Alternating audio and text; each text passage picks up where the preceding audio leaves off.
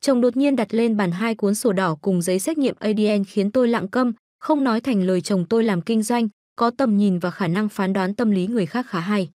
Vì vậy, anh rất dễ dàng trong việc lấy lòng tin, thiện cảm từ người khác.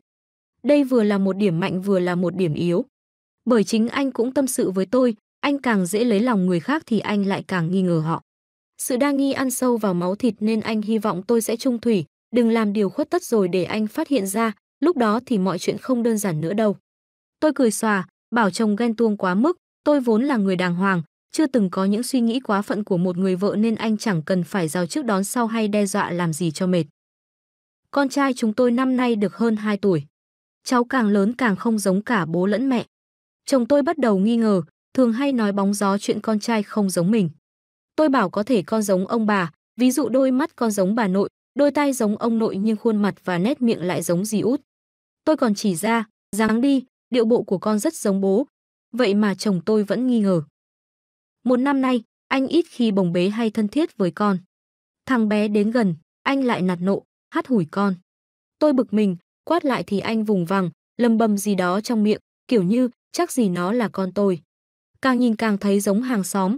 Tình cảm vợ chồng vì vậy cũng bị đóng băng, không còn mặn nồng đầm ấm như cũ. Tháng trước, vợ chồng tôi lại cãi nhau ỏm tỏi cũng vì đứa bé. Con cầm bánh bao đến cho bố ăn nhưng anh hất đứa nhỏ ra, làm con ngã xuống nền nhà. Lần này, tôi cay cú không chịu nổi nữa nên lao đến đấm vào người chồng.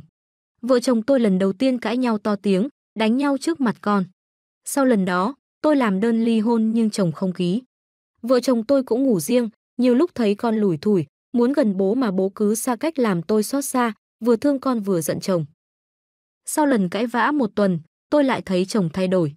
Anh về nhà là dỗ dành, chơi với con, còn chủ động chủ động đưa con đi siêu thị, mua gấu bông, đồ chơi. Anh đối xử với tôi cũng dịu dàng hơn.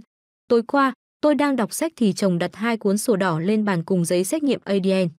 Tôi ngạc nhiên, cầm giấy lên đọc thì khựng người. Chồng tôi đã làm xét nghiệm huyết thống và con trai đúng là con của anh. Giờ anh tin chắc con là con ruột của mình rồi. Anh xin lỗi vì đã nghi ngờ và đối xử bất công với em trong thời gian qua. Ngày mai em thu xếp công việc đi với anh một chuyến, anh làm giấy tờ chuyển nhượng để em cùng đứng tên sổ đỏ với anh. Sau này đất đai, tài sản anh sẽ để lại cho con. Tháng này anh cũng sẽ chuyển tiền lương sang cho em, anh không giữ nữa. Chồng tôi bình thản nói thế. Tôi nghe mà bật cười xót xa, hóa ra anh vẫn nghi ngờ tôi và con. Đến khi biết chắc chắn con là con ruột thì anh mới chịu sang tên sổ đỏ và đưa tiền cho tôi giữ. Tôi bảo tùy anh, muốn làm gì thì làm nhưng tình cảm và niềm tin tôi dành cho anh đã bị dặn vỡ rồi. Sau này, tôi không biết phải đối diện thế nào với một người quá đa nghi nữa. Sống với anh, tôi thấy không hạnh phúc và luôn chịu một áp lực vô hình nặng nề.